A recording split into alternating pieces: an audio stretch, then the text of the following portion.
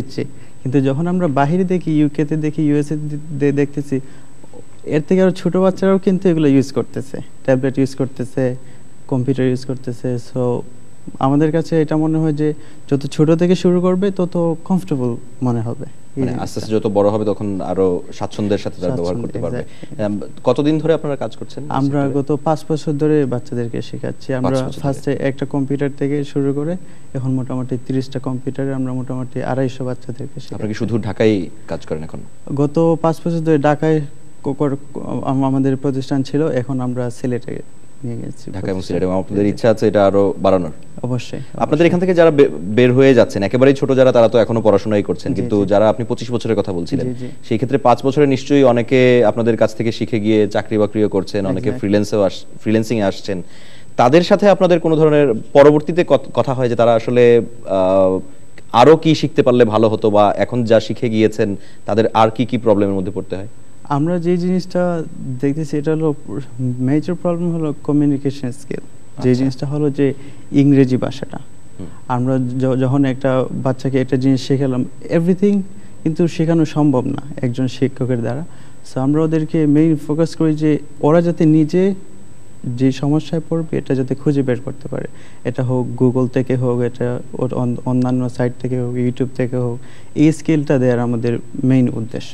যাতে ওরা নিজেদের প্রবলেমটা সলভ করতে পারে। আচ্ছা সেটা কি তারা পারছেন?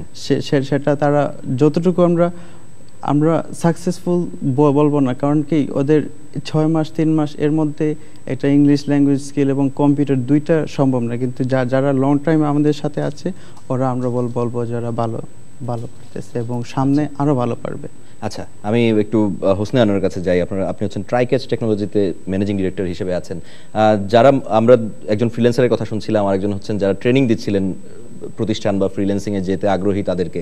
সেই ক্ষেত্রে আপনারা তো ডিজাইন নিয়ে কাজ করেন app development web development development নিয়ে এগুলো নিয়ে কাজ করছেন। আপনারা মার্কেটে কি দেখছেন? যারা ফ্রিল্যান্সার আছেন ফ্রিল্যান্সাররাও কিন্তু প্রতিষ্ঠান ছাড়াও ব্যক্তিগতভাবে এই ধরনের কাজ করে থাকেন। সেই ক্ষেত্রে প্রবলেমসগুলো কি? আসলে একটা আমরা শুনলাম কমিউনিকেশন স্কিল হ্যাঁ। সেটা ছাড়া আর কি ধরনের প্রবলেমস আছে? আসলে প্রবলেমস তো এগুলাই প্রবলেম যে আসলে যে তারা যে উনি যেটা বলল যে বাইরের সাথে কীভাবে কমিউনিকেশন করবে প্রথমে তাকে এগুলা জানতে হয়েছে জানার জন্য অনেক তাকে ঘুরতে হয়েছে তো এই ব্যাপারগুলো যদি আরও ইজি করে দেওয়া যায় যে প্রথমেই আসলে সে কীভাবে কাজ করবে মার্কেট প্লেস সম্পর্কে যে অনেক ভালো বোঝে তাদেরকে দিয়ে যদি আমরা প্রত্যন্ত অঞ্চল পর্যন্ত এই ব্যাপারটাকে সুন্দরভাবে ট্রেন আপ করে দেওয়া যায়, তাহলে তাদের এতটা পরিশ্রম হবে না, যতটা পরিশ্রম করে উনি স্ট্রাগল করে নয় বছরে যতটুকু অগ্রসর হয়েছে অন্যজন সেটা এক বছরেই পারবে। উনি তো তাও গ্রাফিক্স গ্রাফিক্সের উপর পড়াশোনা করেছে। হ্যাঁ, যারা। গ্রাফিক্সের উপর পড়াশোনা করেন যেন কবিরউদ্দিন বলছিলেন যে একই সাথে কম্পিউটার স্কিল এবং কমিউনিকেশন স্কিল হ্যাঁ। দুইটা তো তিন মাসে বা ছয় মাসে শেখানো সম্ভব না। সেক্ষেত্রে আপনারা প্রতিষ্ঠান হিসেবে আপনি তো একজন এন্টারপ্রেনিয়র জি জি। আপনা আপনাকে কি ধরনের প্রবলেম ফেস করতে হয়েছে? ফ্রিল্যান্সারদের কথা বাদই দিলাম। আমাকেও যেটা ফেস করতে হয়েছে আমি তো আসলে একটা ফার্ম ফার্মের হ্যাঁ, ওনার হ্যাঁ। আমাদের ডিফিকাল্টিসগুলো একটু অন্যরকম। হ্যাঁ।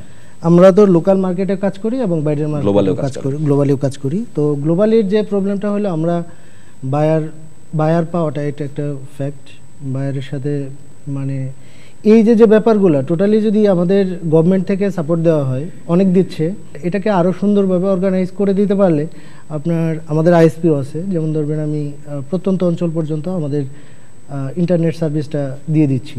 যখন একটা ছেলে মানে গ্রাম থেকে এসে ও শহরে ওর থাকতে হয় অনেক খরচ আছে। এই এই সেম ফ্যাসিলিটিটাই যদি সে গ্রামে পায় ইন্টারনেট ফ্যাসিলিটিটা তাহলে সে গ্রাম থেকে এই কাজটা করতে পারতেছে।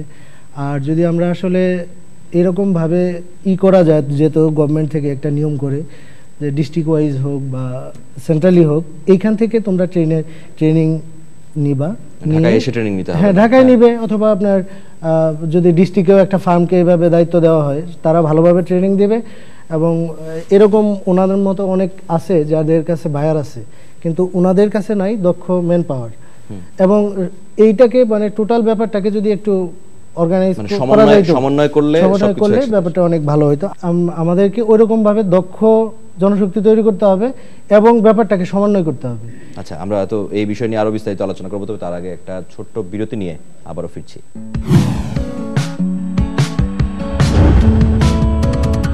লার্নিং